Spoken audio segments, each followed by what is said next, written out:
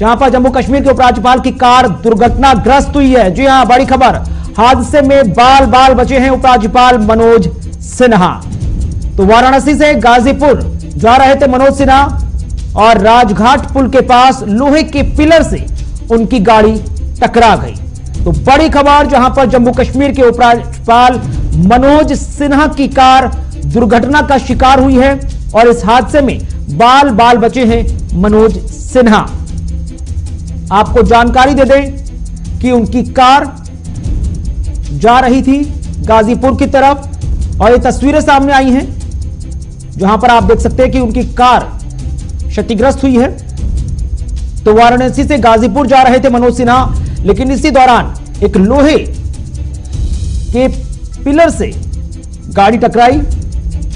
फ़िलहाल जान माल का किसी तरह का कोई नुकसान नहीं हुआ है। सुरक्षित है जम्मू कश्मीर के उपराज्यपाल।